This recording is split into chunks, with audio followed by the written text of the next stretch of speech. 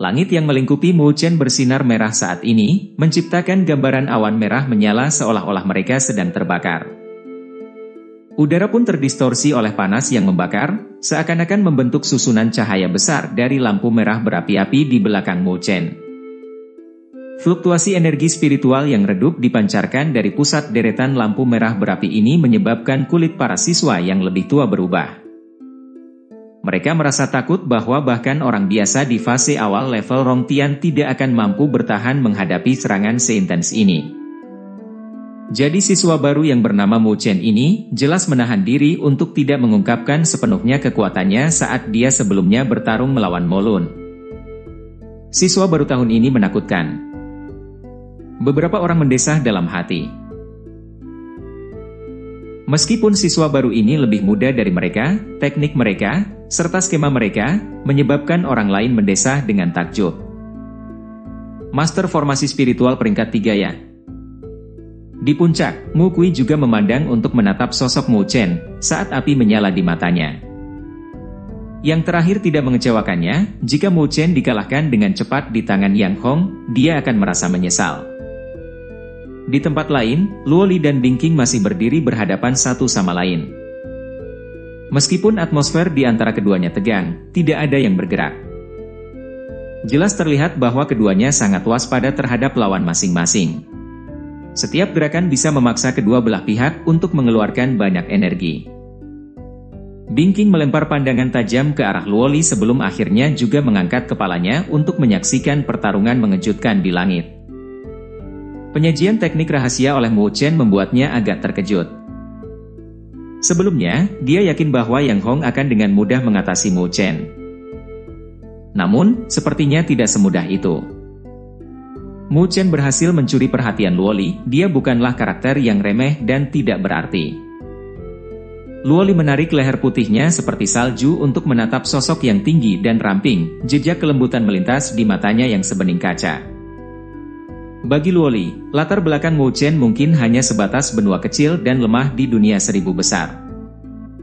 Meskipun latar belakangnya tidak spektakuler, dia tetap bisa bersaing dengan Yang Hong dan siswa baru lainnya. Itulah sebabnya Luoli yakin bahwa, meskipun Mu Chen telah didiskualifikasi di tengah jalan spiritual, dia akan tetap datang ke lima akademi besar. Meskipun tidak mendapatkan pemberdayaan energi spiritual dari jalan spiritual, dia tetap bisa menonjol di antara para jenius ini. Mungkin, di masa depan, pemuda ini akan meraih ketenaran dan kejayaan yang akan mengguncang dunia seribu besar. Lima akademi besar hanyalah langkah pertama dalam perjalanannya. Di bawah langit berbintang di jalan spiritual. Pemuda itu, yang sedikit tergagap setelah berurusan dengan sekelompok pengejar, mengangkat kepalanya. Di wajah tampannya, muncul senyum bertekad. Luoli, suatu hari namaku akan bergema di setiap sudut dunia seribu besar.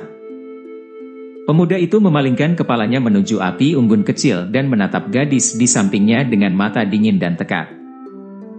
Kenapa? Tanya gadis muda itu dengan senyum tipis. Jika itu terjadi, kau akan mendengar namaku di mana pun kau berada. Bahkan jika aku tidak berada di sisimu, aku akan tetap melindungimu seperti hari ini. Pemuda itu tersenyum, ekspresinya yang tulus dan menyegarkan membuat gadis muda itu melongok, dan sedikit senyum terukir di sudut bibirnya.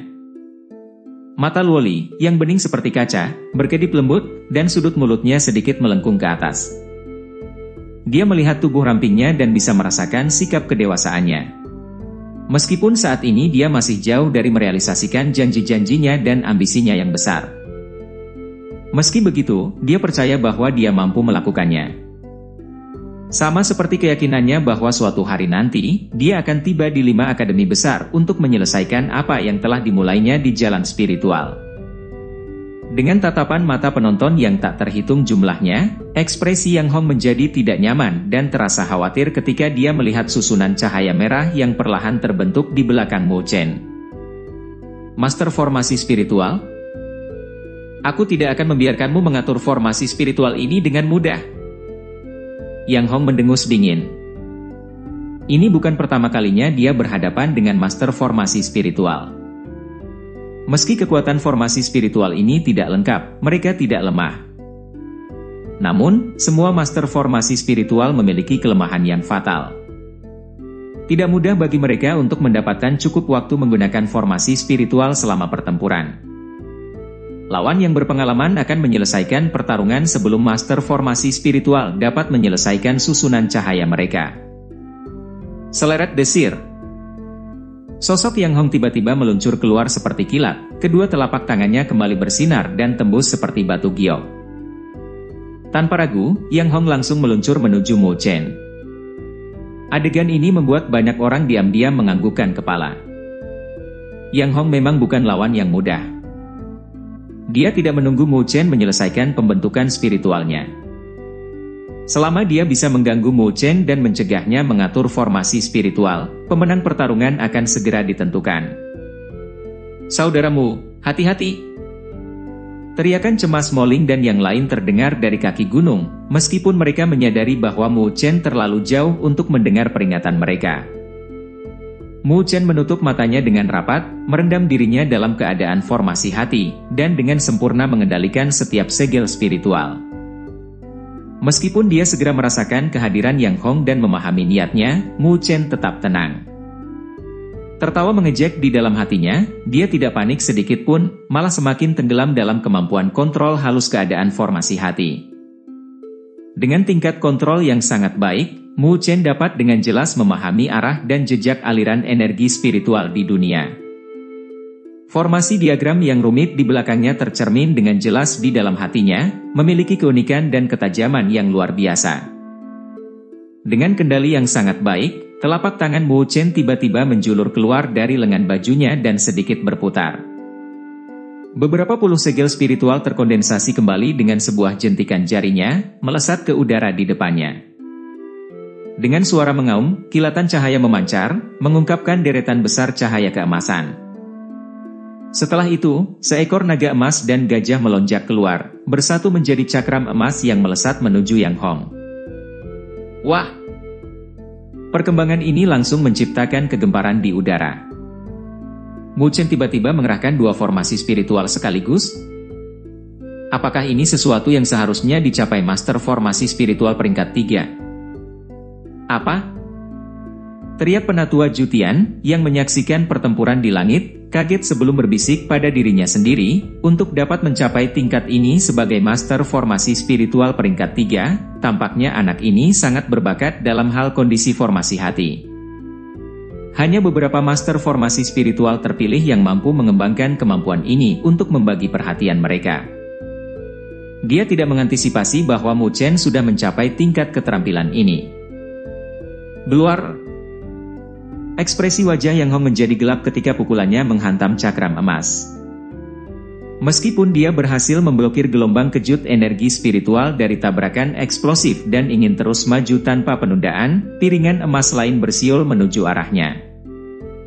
Jelas bahwa tingkat formasi spiritual ini tidak lagi menjadi tantangan bagi Mo Chen.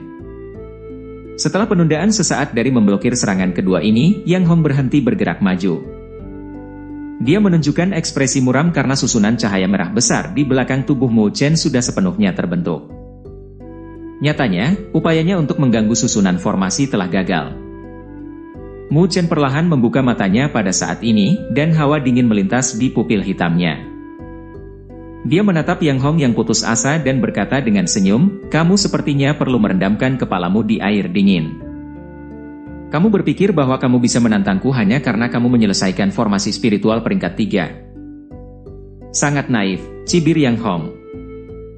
Mu Chen hanya tersenyum sebagai respons dan mengabaikannya. Saat dia mengubah segilnya, susunan besar lampu merah di belakangnya tiba-tiba diaktifkan.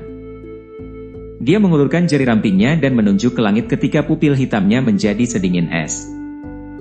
Jebelar ledakan! Api menjulang menutupi langit, meluap keluar dari pusat formasi spiritual. Suara tidak manusiawi merayap keluar bersamaan dengan api yang menjalar. Api berkobar dan pilar api besar meledak dari pusat formasi spiritual, menyebabkan kegemparan di sekitarnya. Roar-roar-roar mengaum. Api yang meletus tampak bergetar sejenak sebelum tiba-tiba berubah menjadi makhluk api yang sangat besar. Dua tanduk tumbuh dari kepalanya, sisik merah berapi menutupi seluruh tubuhnya, dan fluktuasi energi spiritual yang sangat besar menyebabkan kelembaban di udara menguap dengan segera. Ekspresi keheranan muncul di wajah para penonton yang tak terhitung jumlahnya ketika mereka menatap makhluk api ini. Fluktuasi yang keluar dari tubuhnya tidak lebih lemah dari seseorang di fase tengah level Rongtian. Formasi spiritual yang diatur oleh Mu Chen ini tampaknya berada di peringkat teratas di antara formasi spiritual peringkat tiga. Formasi Ifrit Mu Chen menjentikan jarinya saat suaranya yang tenang bergema di udara. Pergi. Roar-roar mengaum. Ifrit itu meraung ke langit. Api menyapu seperti ombak saat tubuhnya bergerak, dan tiba-tiba berubah menjadi cahaya yang berapi-api.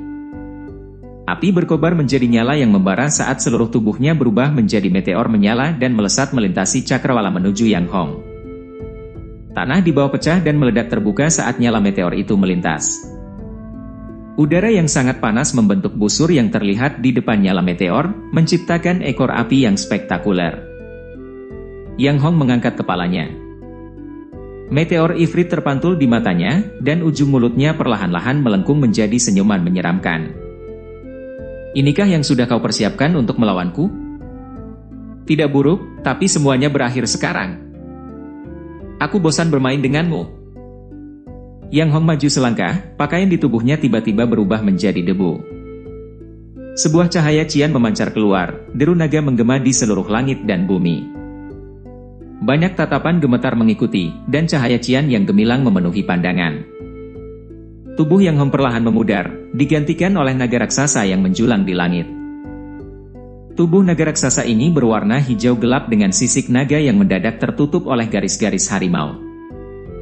Kepalanya bukan kepala naga, melainkan kepala harimau yang menyeramkan. Ketika naga yang tidak biasa ini muncul, semua orang merasakan fluktuasi yang luar biasa. Ini adalah Serentak banyak penonton memusatkan perhatian pada tubuh naga raksasa dengan ekspresi kaget di wajah mereka. Peringkat ke-50 di peringkat bumi dalam catatan berbagai binatang, naga harimau kuno. Cahaya cian menerangi cakrawala, membawa tekanan sombong yang membuat udara terasa gerah. Banyak penonton merasa tercengang saat tatapan kagum mereka terpaku pada naga besar berwarna cian yang duduk di langit. Siapa yang akan menyangka bahwa Yang Hong telah menelan esensi jiwa binatang spiritual? Dan ternyata itu adalah naga harimau kuno yang berada di peringkat ke-50 di atas peringkat bumi dalam catatan berbagai binatang. Bahkan ahli level Tongtian harus mundur di hadapan naga harimau kuno yang matang. Kapan Yang Hong ini mendapatkan esensi jiwa seperti itu? Para siswa yang lebih tua saling memandang dengan cemas sebelum mereka menggelengkan kepala dan mendesah, setiap siswa baru ini lebih menakutkan daripada yang sebelumnya. Naga Harimau Kuno Kejutan melintas di mata Liswantong saat dia menyaksikan pemandangan ini dari salah satu puncak gunung di sekitarnya. Biasanya, hanya seseorang dengan kekuatan besar, yang mampu mendapatkan esensi jiwa dari entitas sekuat naga harimau kuno yang tanpa rasa takut pastilah dia memiliki latar belakang yang kuat. Kemungkinan bahwa dia hanya mengandalkan keberuntungan untuk mendapatkannya. Tatapan Li Suantong terfokus pada meteor menyala yang bersiul di langit yang luas menuju naga harimau kuno. Kekuatan Yang Hong telah meningkat secara drastis dengan mendorong esensi jiwa naga harimau kuno ke batasnya. Akan sulit untuk menemukan lawan yang sepadan dengannya dalam fase tengah level Rongtian. Bahkan jika Mu Chen memiliki kartu truf sebagai master formasi spiritual peringkat 3, masih akan menjadi hal yang sulit baginya untuk mengalahkan Yang Hong. Selanjutnya, dia harus melihat bagaimana Mu Chen akan menanggapi situasi ini. Haha, Mu Chen. Apakah kamu benar-benar percaya bahwa hanya kamu yang memiliki kartu truf dan bahwa aku tidak memilikinya? Naga harimau yang sangat besar duduk langit. Mata Ruby yang besar menatap Mo Chen dengan penuh perhatian ketika tawa mengejek meledak dari rahang harimau yang ganas. Yang Hong, yang telah mengaktifkan esensi jiwa naga harimau kuno, sudah bisa merasakan gelombang kekuatan dalam tubuhnya. Kekuatan ini cukup memadai untuk melukai siapa pun dari fase awal level Rongtian dengan hanya satu pukulan. Awasi saat aku mematahkan serangan formasi spiritualmu. Tawa naga harimau bergema seperti guntur sebelum cakar naga besarnya tiba-tiba mengepal dan dengan keras menabrak meteor api yang bersiul. Jebliar ledakan. Dua raksasa tanpa ampun bertabrakan di udara dengan ledakan keras, menghasilkan gulungan guntur yang bergema di langit. Momentum meteor Ifrit telah sepenuhnya dihentikan oleh kekuatan kasar dari naga harimau, menyebabkan hujan api jatuh dari langit. Meskipun momentumnya telah terhenti, Yang Hong masih terpaksa mundur dari jarak yang sangat jauh bahkan dalam bentuk naga harimau. Namun, tidak butuh waktu lama sebelum dia menyerbu keluar sekali lagi dengan cambuk ekornya dan melanjutkan untuk membombardir meteor api raksasa dengan serangkaian pukulan. Jebliar ledakan Naga harimau tanpa henti menyerangkannya, dan energi spiritual yang keras melonjak seperti badai. Auman di langit, cakarnya mulai bersinar dari cahaya cian dari energi spiritual yang terakumulasi, membawa semacam kekuatan menakutkan untuk menjatuhkan gunung demi menjatuhkan meteor yang berkobar. Enyahlah! Yang Hong merong biadab dalam bentuk naga harimaunya saat tinjunya meledak. Udara kosong tampak membelok di sekitar kepalan tangan saat memaksa balik meteor api raksasa. Garis-garis dan retakan merambat dengan cepat melalui meteor, sampai akhirnya hancur di bawah tatapan kagum para penonton yang tak terhitung jumlahnya. Siapa pun yang melihat hujan api yang menutupi langit ini tampak tergerak. Kekuatan Yang Hong jelas telah meningkat lebih dari satu tingkat setelah berubah menjadi naga harimau. Di puncak, Mu Kui menyaksikan kemahiran praktik santet Yang Hong yang luar biasa dengan ekspresi serius. Bahkan dia sangat waspada dengan kekuatan yang ditunjukkan olehnya. Meskipun orang ini cukup licik, kekuatannya sendiri sama mengesankannya. Tampaknya Mu Chen akan mengalami kekalahan. Apakah kamu tidak berniat membantunya? Bingking mengucapkan kata-kata itu dengan sikap acuh tak acuh sambil melirik Luoli. Setelah berubah menjadi naga harimau kuno, kekuatan Yang Hong membuatnya merasa gemetar, dan dia sedikit khawatir bahwa formasi spiritual Mu Chen tidak mampu bersaing dengannya. Dengan pandangan terpaku pada bayangan tinggi dan ramping di langit, Luoli menampilkan senyuman tipis dan berkata, dia tidak akan menyerah begitu saja. Bingking mengerutkan alis hitamnya, jelas dia tidak sepenuhnya memahami dari mana Luoli mendapatkan keyakinannya. Saat ini, situasinya tidak menguntungkan bagi Mo Chen. Aku akan melihat bagaimana dia bisa membalikkan keadaan ini. Bingking mengangkat wajah cantiknya, menatap ke langit, tanpa yakin akan keyakinan Luoli pada Mo Chen. Haha. Yang Hong yang bertransformasi melepaskan tawa bergemuruh di langit. Bahkan formasi spiritual yang disusun dengan susah payah oleh Mu Chen runtuh di bawah serangan tanpa henti. Pemenang dan pecundang dalam pertempuran ini terlihat jelas. Selanjutnya giliranmu. Mata besar berwarna rubi milik Yang Hong dipenuhi dengan antusiasme. Dia tidak sabar untuk menghancurkan Mu Chen dan menikmati kesenangan dengan menginjak-injaknya di bawah kakinya. Seleret desir. Cahaya cian tiba-tiba meledak dari tubuh raksasa naga harimau. Angin kencang meloncat keluar dengan satu ayunan dari ekor besar naga harimau. Guntur bergemuruh di udara ketika naga harimau berubah menjadi balok cian dan muncul di atas Mu Chen, bayangannya menyebar di atasnya. Turun gunung. Energi spiritual yang pekat meletup dari cengkeraman cakar macan naga, membentuk semacam matahari cian yang bersinar terang. Cakar besar itu penuh dengan kekuatan yang mampu merontokkan langit ketika meluncur menuju Mu Chen. Dikelilingi oleh cahaya cian, serangan naga harimau bergerak secepat kilat melintasi langit, meninggalkan ruang kosong di belakangnya. Semua orang menahan napas. Di kaki gunung, Moling dan wajah-wajah lainnya memucat. Mereka masih dapat merasakan betapa menakutkan pukulan Yang Hong meskipun terpisah oleh jarak yang begitu jauh. Pukulan ini bahkan mungkin langsung membunuh ahli fase awal level Rongtian. Mu Chen mengangkat kepalanya pada saat itu, fokus pada serangan cakar naga yang mendekat. Kedua tangannya perlahan mengepal sambil api emas yang eksotis muncul dari kedalaman matanya. Energi spiritual emas yang menyelimuti tubuhnya meledak diam-diam, berubah menjadi api biru. Mata hitam Mu Chen menjadi lebih dalam pada saat itu. Dari langit, penatua Jutian yang mengamati pertempuran mulai menunjukkan ekspresi yang lebih intens. Dia menoleh untuk melihat kedua tetuanya di sampingnya, menangkap tatapan kaget yang terlintas di mata mereka. Mereka merasakan fluktuasi yang sangat kuat, mirip dengan saat seseorang mengaktifkan esensi jiwa binatang spiritual, tetapi ini sedikit berbeda. Fluktuasi ini masih menyimpan spiritualitas dan vitalitas. Jeb-jeb jebluar ledakan. Sementara mereka dalam keadaan takjub, cakar naga akhirnya tiba. Ekspresi kasihan muncul di wajah para penonton saat serangan itu dengan ganas meledak ke tubuh Mo Chen. Belar. Langit bergetar ketika energi spiritual berwarna cian melonjak tanpa henti, memenuhi langit seperti gelombang besar yang menerangi segalanya. Pukulan kejam itu menghantam Mo Chen. Kulit Ye Qingling dan Yao Ling memucat. Mereka tidak lagi berharap Mo Chen untuk meraih kemenangan, tetapi berdoa agar luka-lukanya tidak terlalu parah. Yang terpenting, mereka berharap agar Mo Chen bisa bertahan hidup sehingga mereka dapat memberinya pertolongan nantinya. Eh, mengapa saudaramu tidak jatuh? Moling bingung ketika dia memandang langit Cian dengan hati-hati. Ye Qingling dan yang lainnya juga terkejut saat melihat ke arah itu.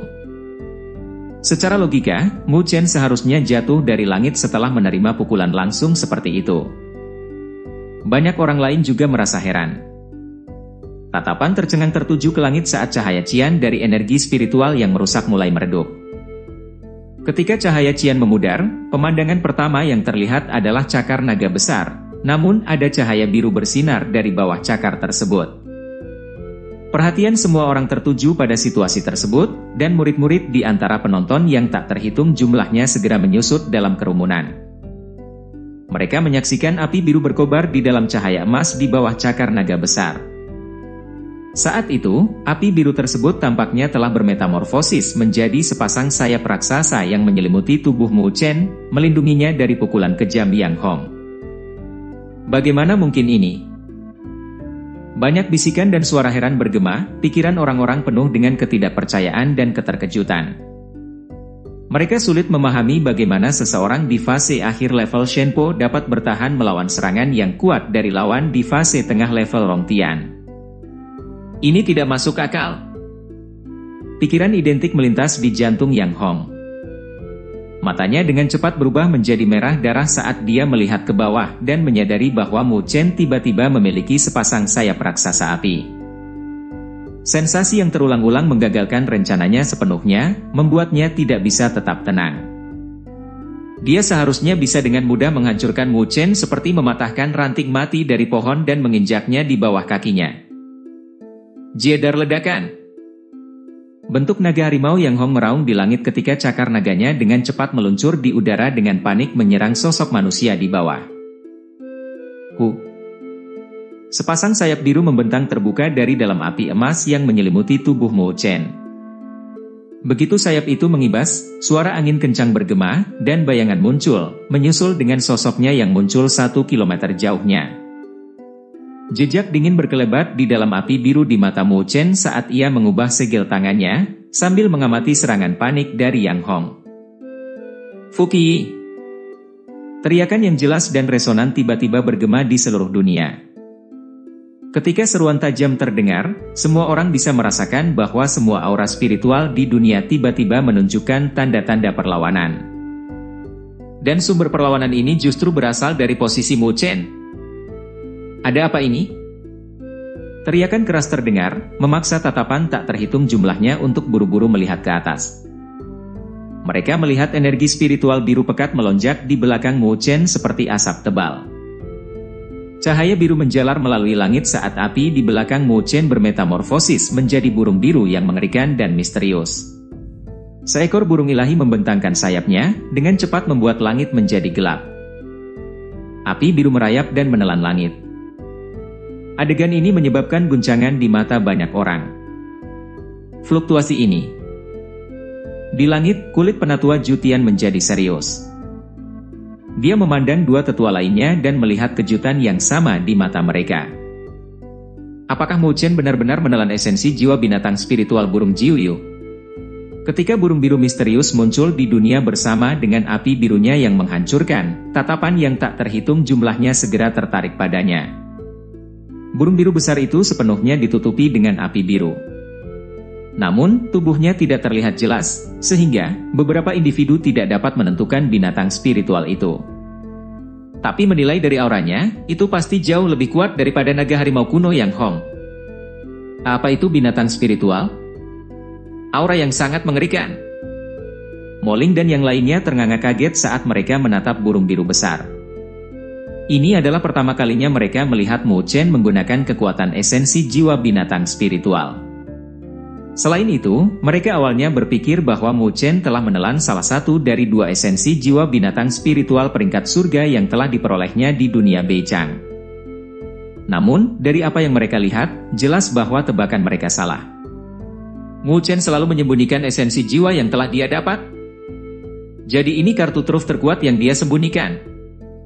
Orang ini, Yo Ling memiliki ekspresi terkejut sebelum dia menarik napas dalam-dalam saat ekspresi kompleks muncul di wajahnya.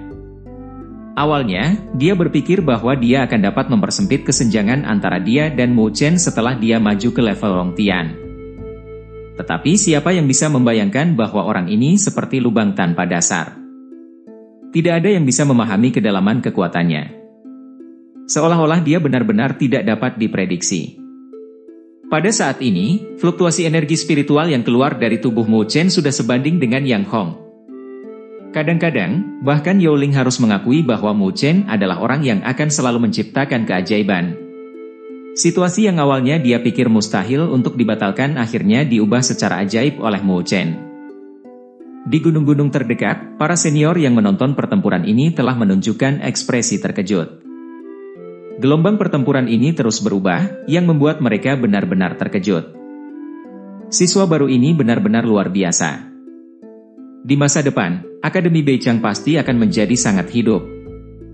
Pada saat ini, Li Suantong berdiri tegak dengan tangan di belakang punggungnya. Matanya juga terfokus pada burung biru misterius yang muncul di belakang Mo Chen. Namun, matanya cukup tajam sehingga dia berhasil memprediksi binatang spiritual itu. Tetapi hasil ramalannya adalah sesuatu yang tidak bisa dia percayai.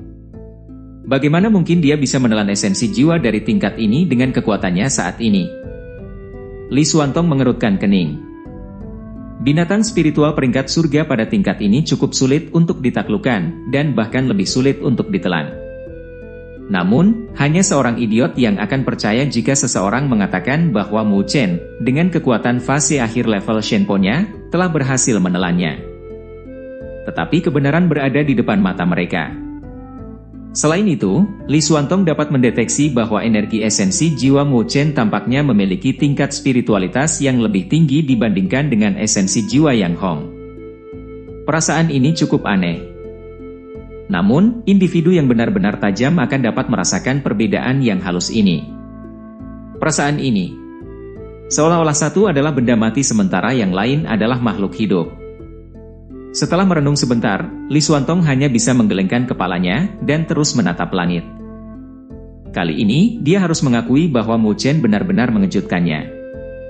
Paling tidak, dia ini tidak selemah yang dia bayangkan. Dalam seketika bahwa semua orang di pegunungan dikejutkan oleh burung biru misterius, tiga tetua juga benar-benar terkejut. Siluman burung Jiuyu. Mengesankan. Bagaimana bocah itu menundukkannya? Keberadaan seperti burung jiuyu memiliki potensi untuk berkembang menjadi binatang ilahi. Setelah berevolusi, itu akan menjadi keberadaan yang setara dengan Dewa Naga.